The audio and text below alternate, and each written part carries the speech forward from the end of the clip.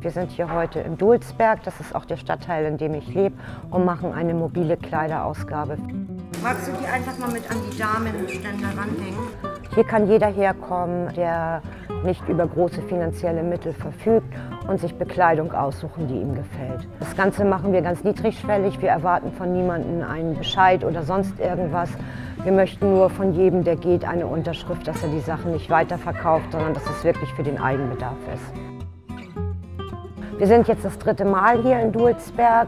Wir äh, wollten gerne eine feste Anlaufstelle auch haben im Stadtteil, ähm, damit sich das etabliert und einfach mehr Menschen von dieser Möglichkeit wissen und dann auch zu den mobilen Ausgaben kommen.